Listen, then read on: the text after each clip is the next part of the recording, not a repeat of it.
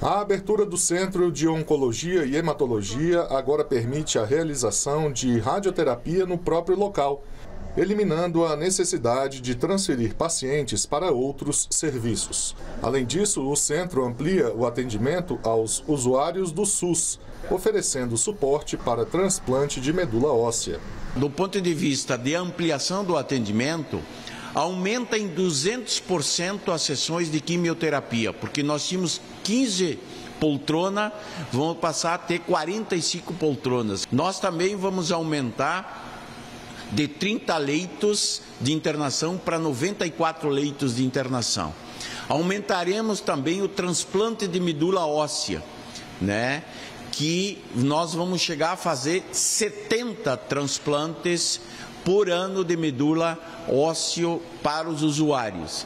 Então, há um conjunto de ampliação e 66% do aumento de consultas ambulatoriais. O novo prédio tem sete andares e investimento de 144 milhões de reais do governo federal. Serão 60 pessoas atendidas diariamente na radioterapia. O GHC será um pilar para que a gente tenha de fato um acesso a especialistas com qualidade, reduzindo a fila, impedindo o tempo de espera. Durante o evento de inauguração do Centro de Oncologia e Hematologia do Grupo Hospitalar Conceição, o presidente Lula assinou a autorização para a abertura do processo de contratação de duas obras do Programa de Aceleração do Crescimento, o PAC.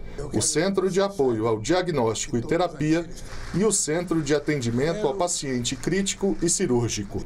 O Estado não tem que ser mínimo, o Estado não tem que ser máximo, o Estado tem que ser Estado.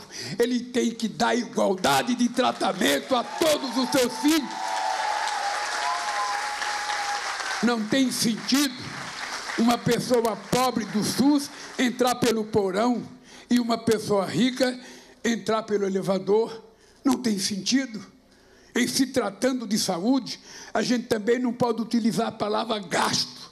Saúde é investimento em salvar a vida nesse país.